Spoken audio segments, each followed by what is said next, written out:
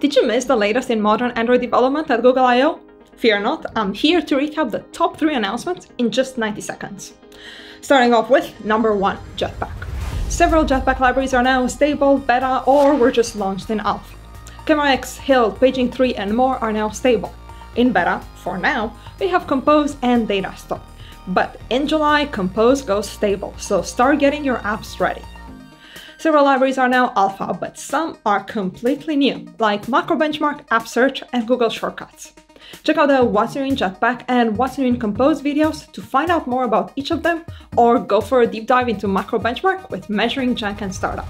Second, tooling. Android Studio brings new and improved inspectors, allowing you to more easily debug your app. For Work Manager, use the brand new Background Task Inspector. For databases, the Database Inspector. And for UI, use the updated Layout Inspector, available both for Views and for Compose. See them in action in What's New in Android Development Tools Talk.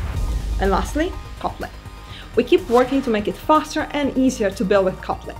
Recently, we've worked with JetBrains to make improvements to the editing experience. And KSP, our replacement for KAPT annotation processing, has reached alpha.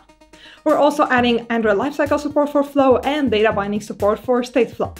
To learn about all the improvements we've made for Kotlin, check out the State of Kotlin on Android.